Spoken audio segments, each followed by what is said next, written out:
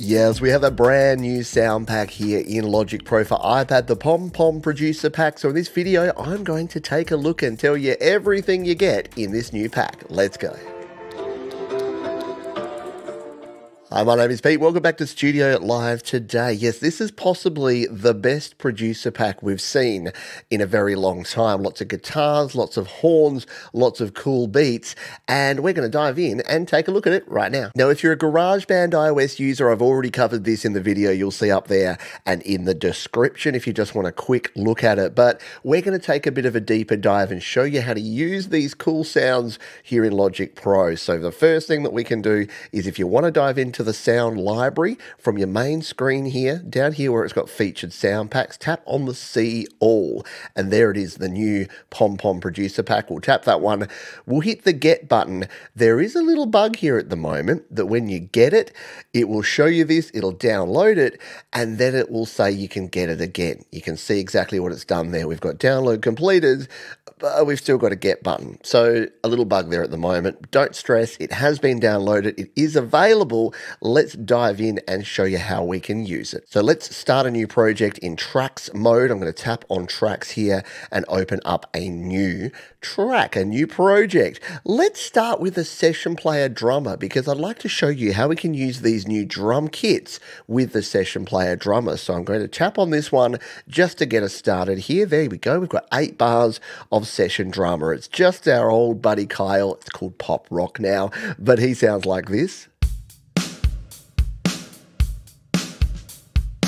But what if we want to actually change this up to one of these new drum kits? Because there are four drum kits in this new pack, along with a bunch of Apple loops and some new instrument patches. I'm going to show you all of them. Don't worry about that. So let's change this up. Let's tap on this pop, pop rock drummer to start with.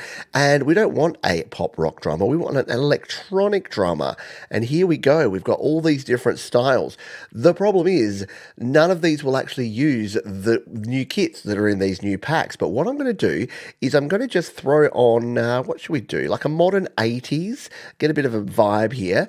Uh, that will add this kit. So the electronic drummer and the modern 80s sounds like this.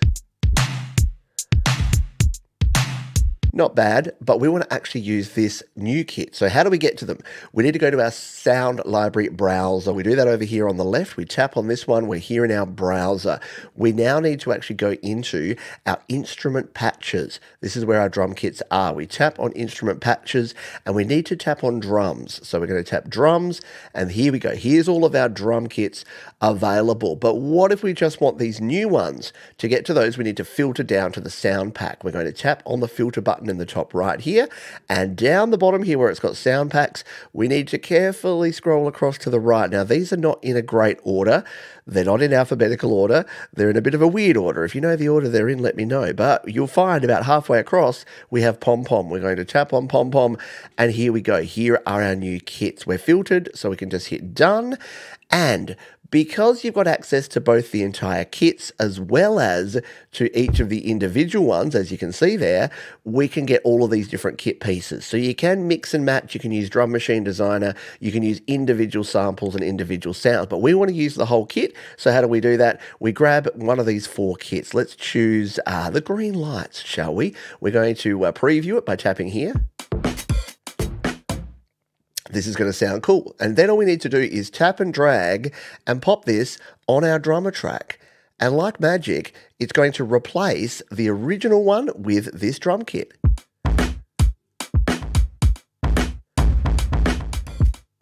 Isn't that cool? So you can use your drummer with these new kits. Of course, you can use them as a drum kit as well.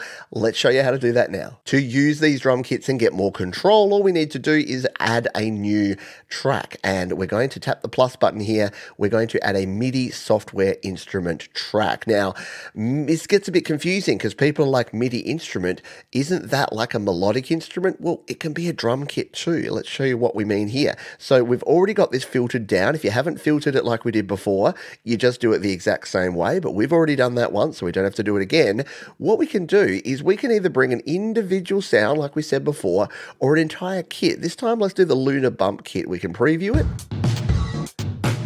That's pretty cool. And if we want to bring this in and replace this Deluxe Classic, we just tap and hold, drag it over, and release it. And instantly, this has become a drum kit. Now, I know what you're probably thinking. How do I play that on a keyboard? Well, this is the beauty part of Logic Pro for iPad. We have different play surfaces. To get to those, we tap in the bottom right corner, and here you can see it's already put us into the right play surface for this one. If it hasn't for whatever reason, all you need to do is tap here, and you can change if it's say it's on the keyboard. You can't really play on the keyboard, can you? It's a, it's a hard work. But if you tap this button here, you can choose. And your best one for this is obviously your drum pad. So you can you can play all your instruments right here. So if I wanted to play something in, let's turn on our metronome and just play in a basic kick snare pattern here.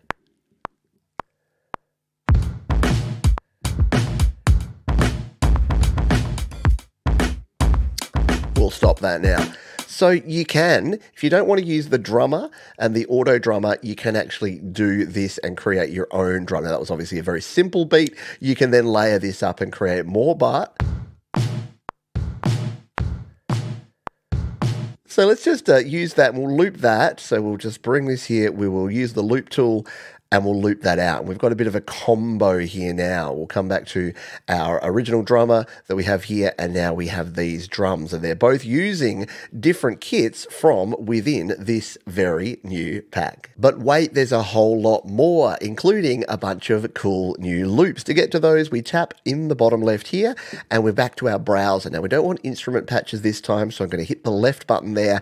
This time, we actually want loops we are going to have to refilter those. So let's tap the filter button. We're going to scroll down here on the left until we get to the bottom here in sound packs. And let's scroll across and once again, find Pom Pom. They really need a better way to order these. Anyway, there it is, Pom Pom. We'll tap on Pom Pom and we've done our filtering. Let's hit the done button. And here they are. Here's all of the cool new sounds that we have. And you're seeing here, we got trumpets, we got guitars, we got bass, we got synth, we got beats. There's a lot of really cool stuff in here. Now I've played around up the top there. So let's come a little further down.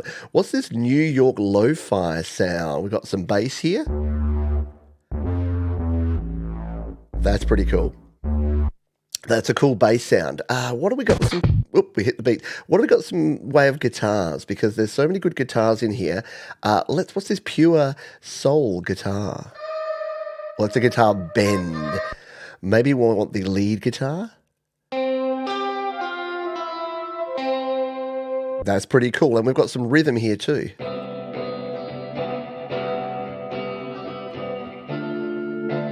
Very nice. All right, I'm convinced. Let's bring some of this in here. So we're going to grab this one, the Pure Soul Rhythm Guitar. To bring a loop in, we tap and hold and drag it. And you can drop it over here on your track. That'll create like a synth, a, sampler or an alchemy sound. But we actually just want to bring the loops straight in here. So let's drop it in there. And you can see that it's brought in our chords. How cool is that? So it's doing a little uh, a little C into a D minor seven, and if we take a uh, listen to this now.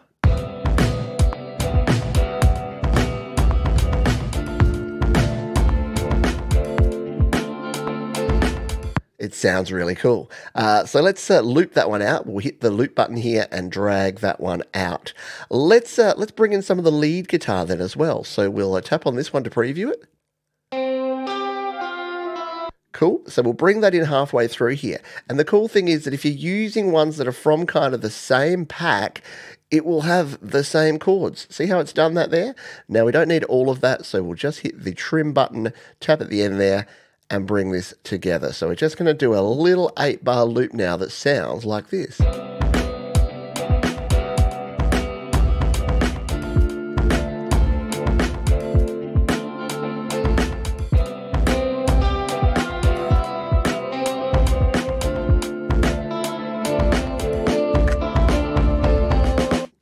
Nice. And we'll, we'll keep working on this. We got some horns. What about a horn pad here? Yeah, I like that. Let's bring the horn pad in here as well, and we'll layer these up. Now, of course, you can mix and match. Let's loop that again. Tap it, loop it. You can mix and match these sounds if you want to, uh, but you will tend to find different chords and things. On the topic of chords, now that we're starting to build out, let's just zoom in a little bit. Now that we're starting to build out an eight bar arrangement here, you'll see it's going C, D minor 7, C, D minor 7. Let's see what that's done to our chords track by tapping up the top here check it out. It brings these along for the rest of our track. And that means that we can use things like our virtual instruments, like our bass, like our strings, like our all of our other virtual sounds, and actually create them here with our session players. If you'd like to learn more about session players in Logic Pro for iPad, check out the other videos down in the description. Shall we take a look and see if we've got something else we can use in here? Let's mix and match something. Let's find more of a, uh, a beat sound, shall we? Maybe a uh, a dreaming time beat. No, that's a little bit too uh, a little bit too laid back. We want something. What about the Fire Island Shaker? Yeah, this could sit nicely under the rest of this track. So let's just grab this one and drop it. This time it's going to be a percussion loop, so it won't have any chords there because it doesn't really matter.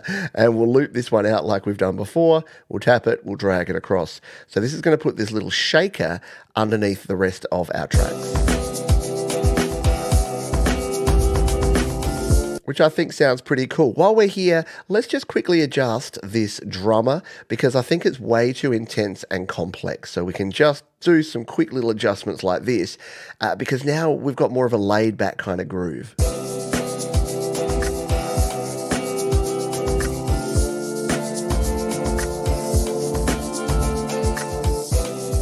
Really nice sounds in here. You're going to be able to create yourself some nice lo-fi vibes. Now, as well as the four new drum kits that we can use with our drummer or with our own drums, and all of those Apple loops, more than 200 of them, there are some new instrument patches that we can play with. So let's go back again. We'll tap on the, the browser in the bottom left here. We're going to go back and back into instrument patches. Now, here's the cool thing. If you haven't cleared it, it's going to have kept our things in there. So all we need to do is get rid of drums, tap on the X for drums, and now we've got pom pom, and we're going to have all the other instruments in here. Now, if we scroll on down, you'll see that it's a it's got a little bit of um, all the different drum parts in there, so all the different drum kit pieces. So you do kind of have to dodge those, or what you can actually do is use the filter here to come in and say I only want to hear certain types of effects. So we can come in here and say let's just give me the uh, voice effects, and there you go. You can see that although it's brought in some of the FX there as well. Uh, so it is a little bit more tricky. You can do some more complex filtering up here and remove the drums if you really want to. But let's just go through and take a listen to some of these. So what have we got? We've got some creepy bells. We've got some bell swells. We've got some flash wobble. We've got some floating flugels. We got a whole bunch of cool stuff in here that we can use. And the thing is, with these, let's just find something that we reckon we can use in this. What about some mellowed out keys? Mm, that could be nice. So we can bring these in by tapping, and this time we actually want to drop it over here, and it's going to create a MIDI track. So it's going to create a brand new MIDI track. We tap on the bottom right here. This time it's it's going to give us this, uh, and we can play in our own chords. So let's see if we can play in using the keyboard here. And we know that it's C and D minor 7 because it tells us, which makes it easier. So let's hit record and record in some chords. That's a lot of chords. Two, three.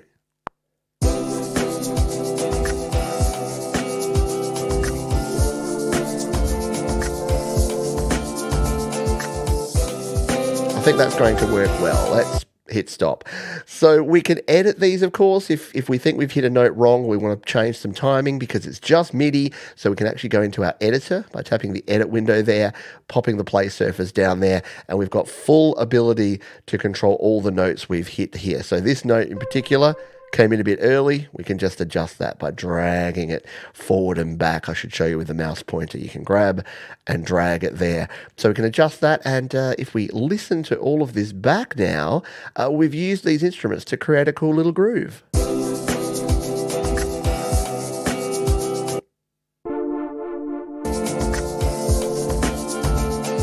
Now, there is so much more to explore in here. We can use the different samples in here. We can, as we said before, you can use any of the things from within the instruments to create your own types of instruments. You can use the loops and pull these in here to create other cool things. So if you wanted to say, grab this beach vibe guitar, and you want to create your own instrument out of it, you can grab this and instead of putting it in as a loop, you can put it right here on the header and we can turn this into a quick sampler or a sample alchemy. Let's just go the quick sampler here and bring it up and you can actually it creates a little sample effect for you with that. And you can use that in sample alchemy as well. I cover that in other videos if you want to learn more about that here on the channel. So there it is. Probably the best pack that I've seen here in Logic Pro or GarageBand iOS for a very long time. Here in Logic, you got the advantages of having the chords there, so you know exactly what's going on with your Apple loops. You can use all your sounds as a, a standard sound as well, and that cool trick I showed you at the start to bring the kit in here and use it as the kit for your drummer in the virtual drums. So I hope you found this one useful. If you'd like to learn more about how to create, record, and release your own music using Logic Pro for iPad, check out the other videos in the description, and I'll see you next time.